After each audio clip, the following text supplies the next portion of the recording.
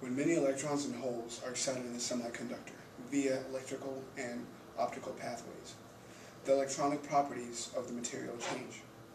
Are three main dominant effects here, such as the band filling, or band gap shrinkage, and free carrier absorption.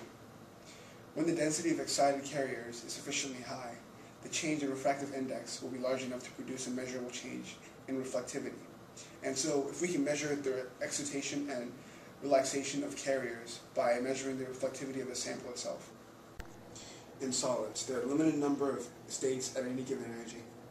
When large amounts of carriers are excited to some range of energies, the limited number of states will fill, therefore making the optical transitions to that energy impossible. This is what we call band filling. So the absorptivity goes down at that energy. This change in absorptivity may be linked to the change in the refractive index through the Kramers-Kronig integrals.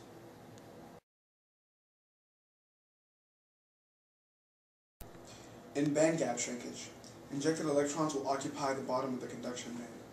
And if the density is sufficiently high, electrons will interact through Pauli principle and Coulombic potential. This interaction will lower the electron's energies and reduce the energy of the conduction band edge.